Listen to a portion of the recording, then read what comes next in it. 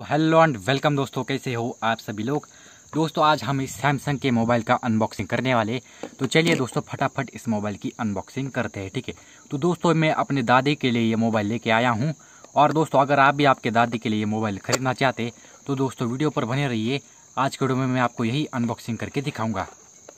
तो देख सकते हैं कि दोस्तों, ये मोबाइल सैमसंग का एकदम नया मोबाइल है दोस्तों, आप देख सकते हैं, ठीक है? तो अब इसमें देखते हैं कि दोस्तों, हमें क्या क्या मिला हुआ है। ठीक है दोस्तों मेरे पास ऐसा ही एक था ठीक है? तो दोस्तों उसे मैंने फोड़ दिया गुस्से में। तो यहाँ पर आप देखिए दोस्तों हमें यहाँ पर क्या क्या मिलता है? दोस्तों हमें इसमें बस एक चार्जर मिलता है और कुछ डॉक्यूमेंट मिल जाते हैं ठीक है? तो आप देख सकते हैं दोस्तों अगर आप भी ये मोबाइल खरीदना चाहते हो तो दोस्तों आप भी ये मोबाइल को खरीद सकते हैं। आप देख सकते हैं कि हमें इसमें कुछ डॉक्यूमेंट्स मिल रहे हैं। तो यहाँ पर आप देख सकते हैं कि दोस्तों हमें यहाँ पर डॉक्यूमेंट मिलते हैं। तो दो, दोस्तों सभी मोबाइल में हमें ऐसे ही डॉक्यूमेंट्स मिल जाते हैं। डॉक्यूमेंट की उतनी उतनी बड़ी बात नहीं है ठीक है? तो आप यहाँ पर इसे हम फेंक देते और ये देख सकते कि दोस्तों, हमें यहाँ पर सैमसंग का यहाँ पर बोल रहा है। ठीक है दोस्तों, अगर आप भी इस मोबाइल को खरीदना चाहते तो दोस्तों, इस मोबाइल के लिंक जो है मैं आपको डिस्क्रिप्शन में दे दूँगा। दोस्तों, इस मोबाइल के लिंक दोस्तों मैं आपको डिस्क्रिप्शन में दे दूँगा।